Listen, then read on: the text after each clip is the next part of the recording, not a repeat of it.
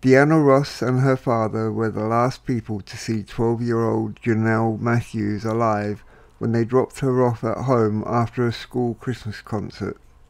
She was never seen alive again until almost 40 years later when a construction worker made a grisly discovery in a field that he was working in. Finally, justice came knocking on the door of the man who stole Christmas back in 1984. Come with me as we talk about the heartbreaking and tragic abduction and subsequent murder of 12 year old Jonelle Matthews.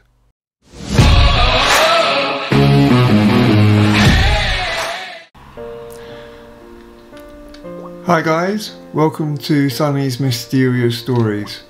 I just want to quickly introduce you to my best fur friend Sonny. He's the inspiration for the name of this channel and I'm hoping to bring him onto camera a little bit more but he is very camera shy. And me, well, I'm just known as Sonny's dad. This, everyone, is Sonny. He's actually feeling a little bit poorly at the moment. He's got an abscess and he's going to the dentist on Friday to have some teeth taken out. Aren't you, baby? But Sonny says hello and he might see you later. Hey baby, bye bye. Good boy. So this is a brand new channel, so once again welcome. This is the second episode, so if you haven't seen the first video, please go and have a look at that at the end of this one. Well, each week I intend on bringing you some of the very best in true crime, both solved and unsolved, from around the world. Hopefully it will be stories that you've never heard of before and if you have then I'm hoping to bring a new twist to it. I'll be talking of stories that predominantly cover murders, love triangles and of course some of the very worst serial killers that have ever walked this earth. Sprinkled in with these will also be some stories from the world of the paranormal, so hopefully there will be a little something for everyone. So if you like this sort of content, why don't you sit back and relax and join us as we go on a journey to the darker and weirder side of life. So we're going to start today's story off in September of 1968 when Jim and Gloria Matthews welcomed their daughter Jennifer into the world. Now, Jim and Gloria had an idea of what their perfect family should look like, and it included more than just one child. The sad thing was that after having given birth to Jennifer, Gloria and Jim found it increasingly difficult to conceive again. But not ones to sit around and let that disappointment fester for too long, they came to the conclusion that there were so many children out there that needed to be adopted. At this time in their lives, they were living in Camarillo in California, which, if you didn't know, is about an hour north of Los Angeles. So they decided to explore the possibility of adoption with the Children's Home Society in California, which had one of their offices in nearby Santa Barbara. Now, around this time, in February 9th, 1972, the young 13 year old girl called Terry Vieira Martinez gave birth to a healthy baby girl at Cottage Hospital in the city of Santa Barbara. The young mother tried her absolute best to raise her daughter, but within a month of the baby's birth, she realised that she just wasn't able to take care of a small baby. After all, she was still just a baby herself, being only 13 years old. So by the end of March 1972, Terry put her young baby girl up for adoption. She desperately hoped that by doing this, it would give her a decent chance for a better life than what she would have had with just herself. So now we go back to Jim and Gloria. You see, while they were going through the adoption process, Jim, who happened to be a lifelong educator, was given the opportunity to teach overseas in Beirut, of all places. So, because of this, the Children's Home Society actually accelerated their application process, and by March of 1972, just a mere six weeks after Terry gave birth to Jonelle, the little baby girl became a member of the Matthews family. Gloria had said that back in those days, adoption agencies tried to match the best children to their new parents. So Jennifer, their first biological child, had light hair just like her father. And Jonelle had dark hair just like Gloria. So Jonelle looked like she was just a regular member of the family. Now, after having taught for three years in Beirut, Jim Matthews and his family returned to California.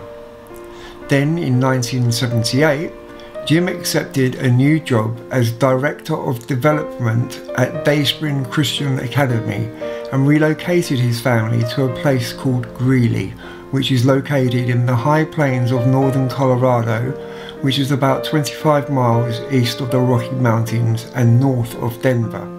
The Matthews did their best to raise Jonelle to become strong and independent.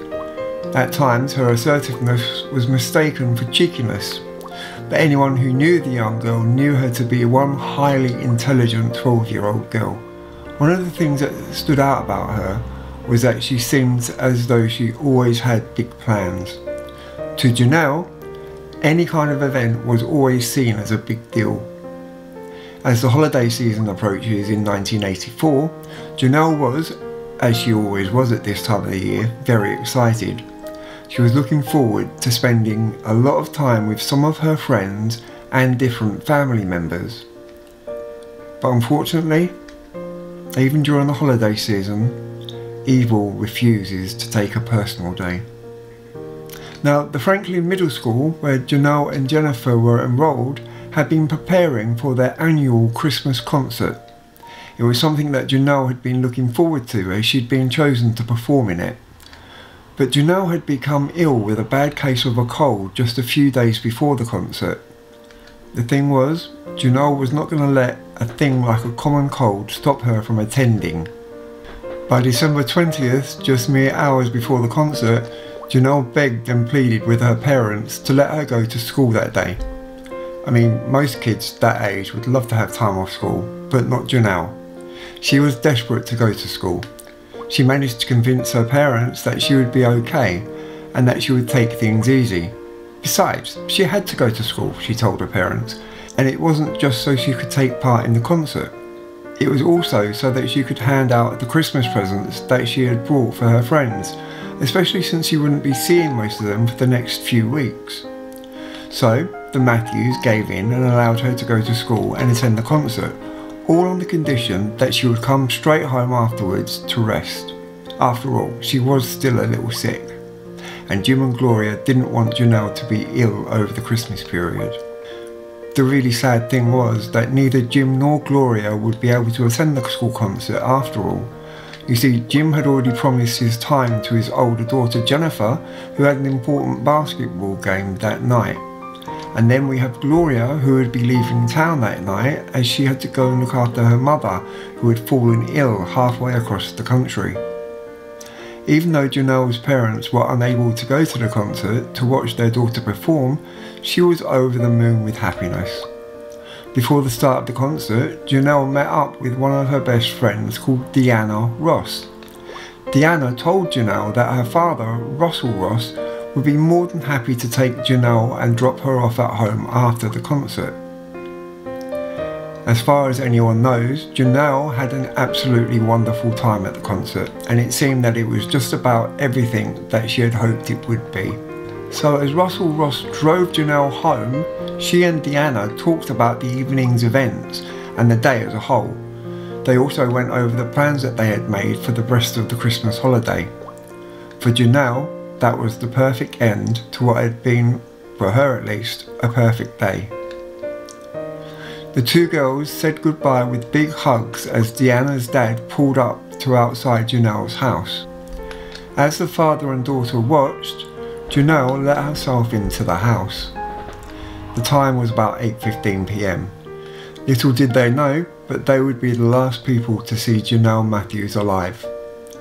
At 8.30pm, telephone records have shown that Jonelle had answered a call, seemingly for her father.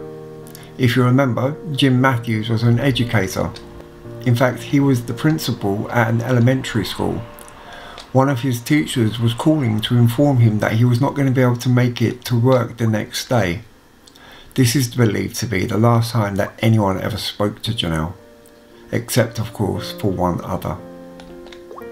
Sometime after that telephone call, Jonelle made herself comfortable in her favourite spot on the sofa next to the beautifully decorated Christmas tree with a bowl of popcorn. At around 9.30, just over an hour after Jonelle had made it home, her father arrived home to an empty house. Now this was not something that was necessarily unusual in and of itself. Jim Matthews just assumed that Jonelle had stayed out later than was planned or agreed to with either himself or Jonelle's mother. As Jim stepped into the living room, straight away he noticed three things. One, the heater was on, with no one there to benefit from its warmth. Two, Jonelle's favourite shawl was strewn on the sofa, as if she had just only taken it off. Lastly, a pair of Jonelle's shoes were positioned perfectly in front of her favourite spot. The only thing that was missing from this picture was Jonelle herself. Remaining calm, Jim quickly made a search of the rest of the house for Jonelle. He could find no sign of her. Just as he was finishing his search, he heard the front door open, then close, and as he rushed downstairs to chastise Jonelle for going against her parents' wishes, his heart sank when he found that it was his oldest daughter, Jennifer, home after her basketball game. It was now coming to 10 pm. Totally unaware of her father's panic, when questioned, she told her father that she had not seen her sister all night long. Upon hearing this, Jim Matthews knew in his heart that something was terribly wrong. Jim dialed 911 and reported that his youngest daughter was missing. Within 15 minutes of receiving his telephone call, the Greeley police arrived at the Matthews home. What with the winter weather setting in, a missing child was more than enough to get them jumping into action. The moment they arrived at the scene, the Greeley police officers began to conduct a search of the interior and exterior of the Matthews premises, finding absolutely no evidence whatsoever of any kind of struggle or any sign of a forced entry. It left them to contemplate the idea that Jonelle may have left of her own accord even though it seemed like she had left without a jacket or her shoes, especially considering that it had been snowing and more was on its way. Jim tried his best to assure the police officers that his 12 year old daughter would not have gotten very far in bare feet and in the snow. Okay, so get this. After having taken a closer look at the outside of the Matthews property, the police did actually find one thing that they thought was extremely odd. There was a set of footprints in the snow around the living room window, and the footprints were too big to be Jonelle's. It left the police to believe that an unknown person could possibly have been watching Jonelle from outside. But despite these suspicious footprints, the police continued with their first theory that Jonelle had more than likely run away from home for some unknown reason. That led them to issue a summary of her disappearance. Desperate for the police to look at other avenues, Jonelle's father tried in vain to reiterate that running away from home was just not a possibility for his daughter. He told them of the many plans that Jonelle had made for the Christmas break. They were expecting one of her close girlfriends to come and have a sleepover the very next night. And there was the Christmas presentation at the church that they, she was involved in. Running away from home just didn't make any sense to Jonelle's father. To be fair, the police did take on board everything that Jim Matthews tried telling them, but frustratingly to him, they continued to investigate the young girl's disappearance from the perspective of a teenage girl who had run away from home. So the police made a thorough search of her bedroom and her locker at school, hoping that they might find some kind of lead that would assist them in the notion that she had run away. But they found absolutely nothing that could help them. This came as no surprise to Jonelle's parents and sister, and the theory that she was a runaway proved even more unlikely when Jonelle failed to either return home or show up anywhere else.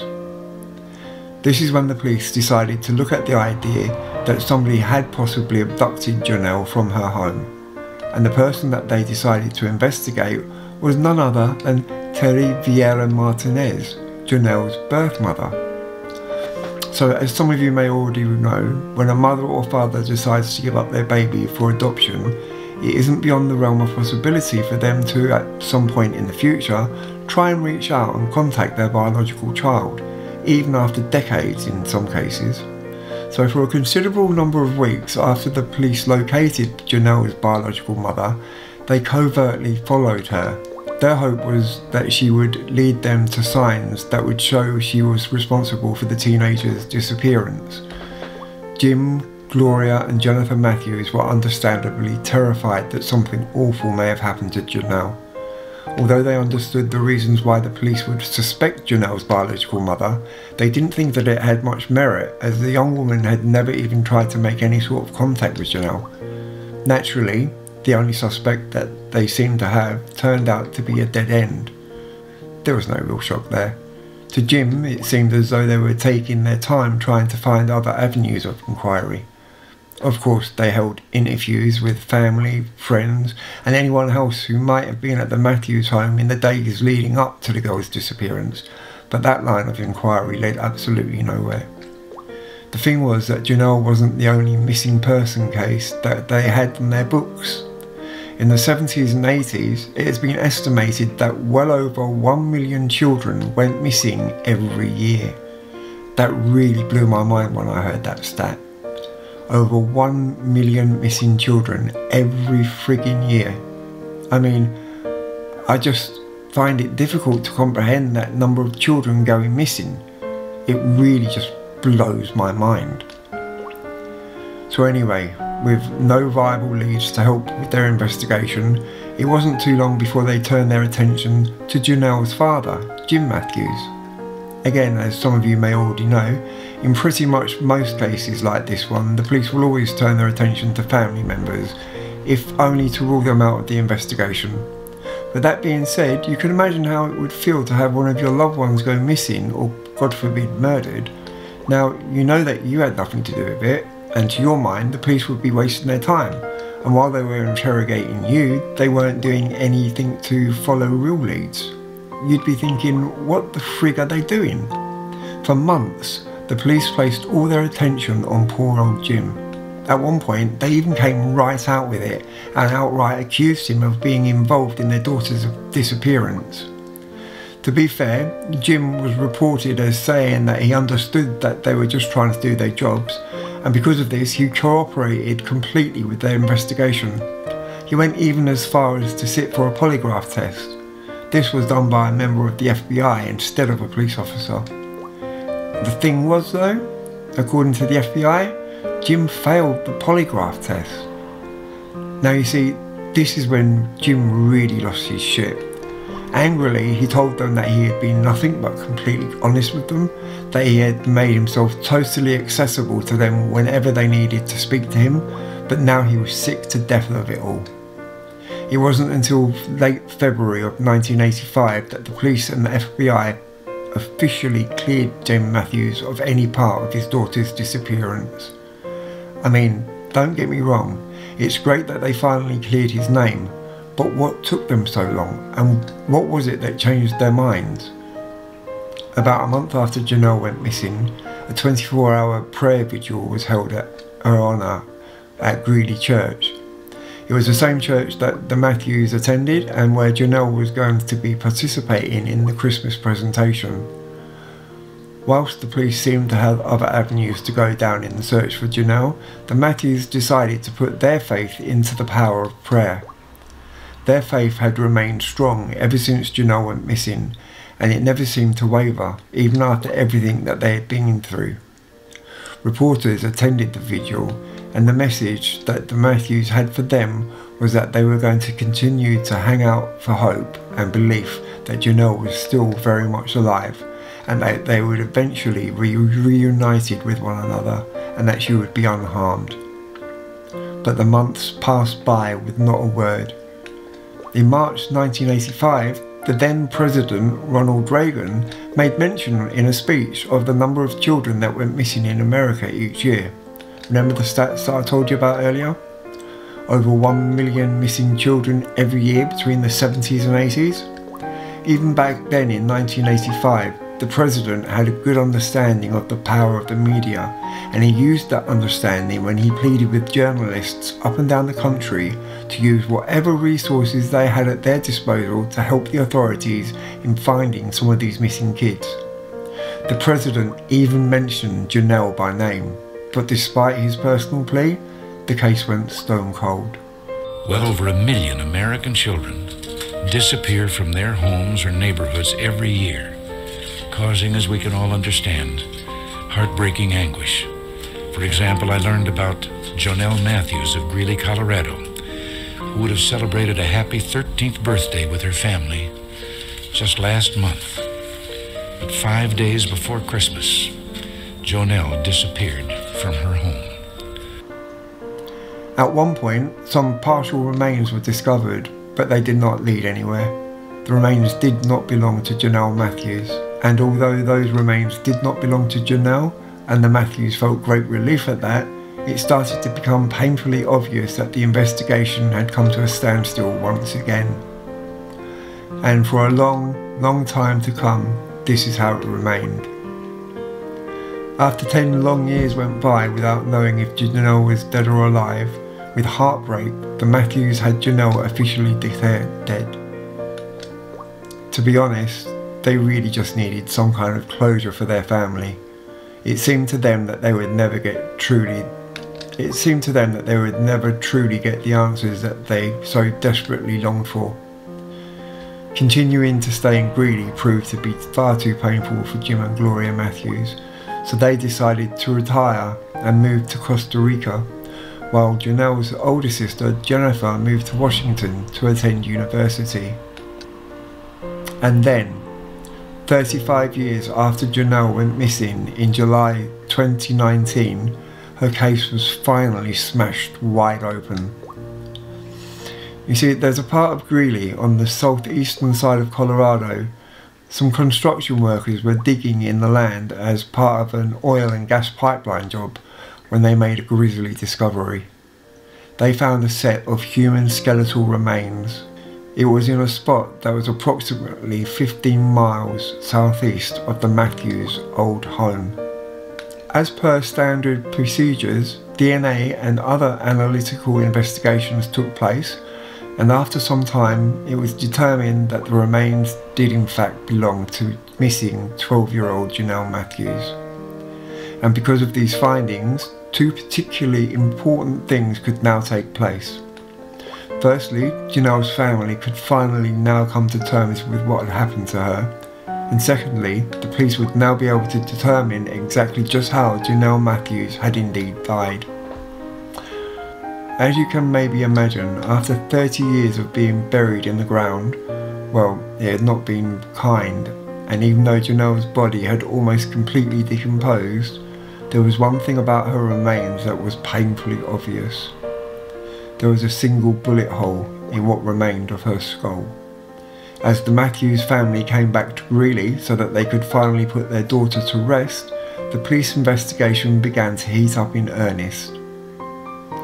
On September 13th, 2019, the shit really hit the fan as the Greeley Police Department announced that they did in fact have a person of interest in the kidnap and subsequent murder of Jonelle Matthews, but boy oh boy, the person of interest that they seemed to have set their sights on was in fact a man that they had secretly suspected for over 30 years. Even during the time when they had been turning Jim Matthews' life upside down with their false accusations, all that time the Matthews family and friends grieved, not knowing how their beloved daughter and sister and friend had died, they had suspected this particular man all along but obviously they couldn't prove it, and so they had remained silent. So, this is the part of the heartbreaking story where I introduce you to a very despicable man, Steve Pankey. Pankey was by no means a nobody. He was actually a fairly well known and pretty influential man who in 2014 and 2018 had run for the governorship of Idaho before that, he had unsuccessfully run for the position of Lieutenant Governor in 2010. In total, he had run a total of seven times for various positions in the state of Idaho. Scarily, three of those attempts for power had been for the position of county sheriff. Now, as far as I'm concerned, that is scary as hell.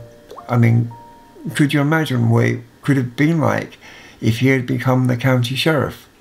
How freaking scary would that have been? especially when it comes to the investigation into Jonelle Matthews' disappearance. As it turns out, at the time of Jonelle's disappearance, Pankey used to live less than two miles from the Matthews family home. He had made the claim that he had been a youth pastor at the very same church that the Matthews had attended, the same church that Jonelle would have sung in that Christmas. But he had left the church just prior to the Matthews joining, his leaving the church had been something to do with an alleged sexual assault of some type. And as it actually turned out, after a little investigating, it was discovered that he was never a church pastor. He was in fact just the janitor. Over the intervening years, Pankey had tried his best to insert himself into Jonelle's missing persons case, not just a few times either, but several times. He had even volunteered, without ever having been asked, what he claims were details about when Jonelle had died. Just mere weeks after Jonelle went missing, Pankey had contacted the FBI with what he claimed was information that would help solve the case. It was reported that in return for this information, he wanted total immunity for himself. But ask yourself this if you are totally innocent of any crime, then why on earth would you feel the need for immunity? but not just any old immunity, he wanted total immunity. I'll let that just sit with you for a little while.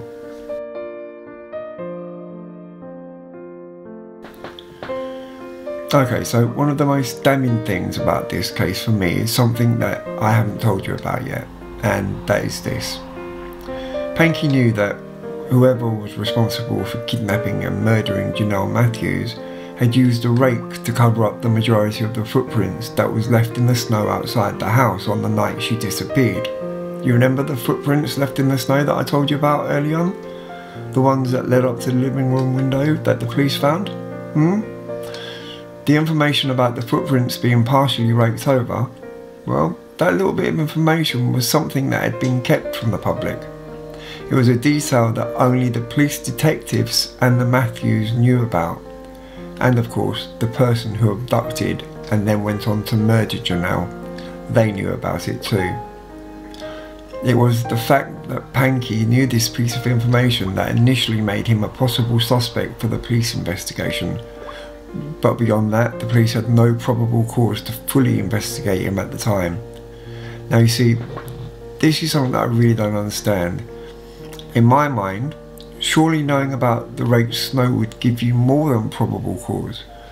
But then again, I'm not an American, so I don't understand all the ins and outs of American law.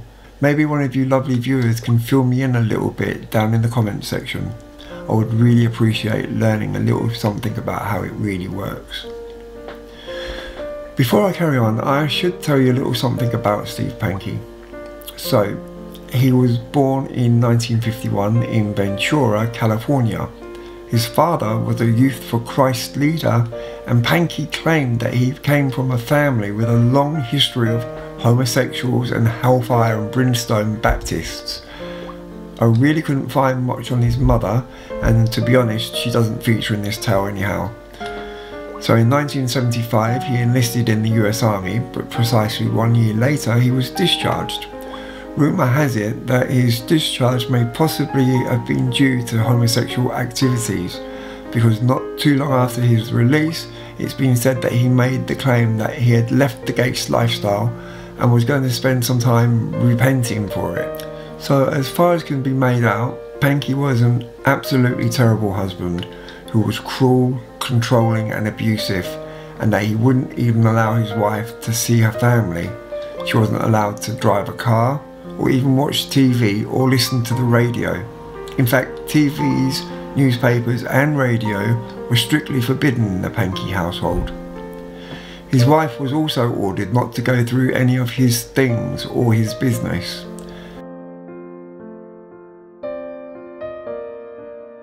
Had a wonderful Christmas with my parents. On December 26, 1984, uh, six days later, we were returning, and when we got back into uh, in the evening time in, in Colorado, uh, we heard on the news that a missing there was a missing girl. Uh, then, that was my first knowledge of it. Now, Pankey claimed that he and his wife were at home the night that Jonelle was abducted, and that they were planning for a little trip out of town that very next day. He claimed that his wife would verify everything he was telling them. Now you see, the police detectives felt as though the statements that Pankey were making were not only false, but that the details he was giving them in connection with the trip were somewhat superfluous. It was because of this that they felt it vitally important that they actually speak to his now ex-wife, Angela Hicks, just as he had offered. Believe me when I tell you that the story she conveyed to the police absolutely destroyed her ex-husband's alibi. So this is how it really went down. A few days before Jonelle went missing, Pankey's parents invited him and his family to join them in Big Bear in California for the Christmas holidays, which under normal circumstances would sound great. But Steve Pankey and his parents were almost totally estranged and they didn't really think that he would accept the invitation. In fact, Steve had told his wife that they would not be going. But after Jonelle went missing on December 20th, he all of a sudden changed his mind and with basically no warning, he told her to pack as they would be going to his parents after all. Not only did his wife have to pack two bags for the two of them and two for the kids, but they also had two huge Great Danes named Marble and Butch. When she inquired about the arrangements for the two dogs, he simply told her, rather cruelly, that she needn't worry about the dogs, as they were gone. Literally gone. He told his wife that he had dumped the dogs somewhere and he wouldn't tell her where. Angela, his wife, never saw Mabel or Butch ever again which is totally heartbreaking for her. And to this day, nobody is sure of the whereabouts of the dogs. You can only but imagine what he did to those poor things. Anyway, the stay at his parents didn't go too well, as Pankey ended up having a huge fight with his father over something or another. And so, on Christmas Eve, he forced his family back into the family car and they left to make the journey back home to Greeley. During the drive home in silence, the man who forbade his wife and children from listening to the radio ordered Angela to find a news radio station. When she finally tuned in to a radio news broadcast that was talking about the tragic story of a missing 12 year old girl from Greeley, he told her to stop. He became totally consumed by the story. Even more surprisingly, he pulled up outside a convenience store where he told his wife to buy two newspapers. As they continued with their journey home, he made Angela read out loud any article that had made mention of the missing Greeley girl. One of the newspapers was the Denver Post and the other was the Greeley Tribune. Angela remembers that when they eventually got home, he changed into his overalls, grabbed hold of a shovel and told his wife that he needed to fix a problem with their new septic tank. But she knew better than to ask questions, but she did think it rather strange as they had only just recently replaced the septic tank less than a year ago, and as far as she knew, there were no problems with it. Sadly, sometime in 2008, the Pankey's son was unexpectedly murdered and it was at his funeral that Pankey was reported to have said something along the lines of how he hoped that God hadn't allowed this to happen to his son because of Jonelle Matthews. Angela Hicks did say that she hadn't really thought about it, putting it down to her husband's grief. In hindsight, it seemed to take on a much more sinister connotation. Get this, guys. As the investigation gained momentum, Pankey realised that the police were seriously considering him as their prime suspect, and so he began on a mini press tour. In fact, it seemed as though he couldn't get enough of talking to the press. There are a number of incendiary interviews that he gave, some of them whining about how he was being persecuted by the police detectives involved in the case. I will list some of these in the description for you if you want to take a look. But for now, take a look and listen at this short clip of one of the interviews. When you're a parent and you know what happened to your murdered child, like me, that's bad enough. Okay, you live with it the rest of your life. But if you have a, a young girl and you've got these rumors going out there, possible forced into, I mean, that would be a horrible thing for the Matthews to live with. It's a horrible thing for anybody to think about that. So at least they know, I mean, they know for sure that she's gone. And they've got her remains, they've buried her with dignity in a cemetery. So I, I am very happy for her. That's when I did the who, why, because, you know, I think I think getting the United States attorney involved in here. You know, when you're talking about making deals, my relationship with the Greeley police is it's just in your face all the time, okay? It's either you're crazy and you, I mean, from. On October 9th, 2020, a grand jury finally handed down an eight page indictment against Steve Pankey. In it, it basically charged that Pankey took Jonelle Matthews from her family home during the course of the kidnapping. He shot her in the back of the head. Almost 35 years after she went missing on October 12, 2020, Pankey was arrested and charged with the kidnapping and first degree murder of 12 year old Jonelle Matthews.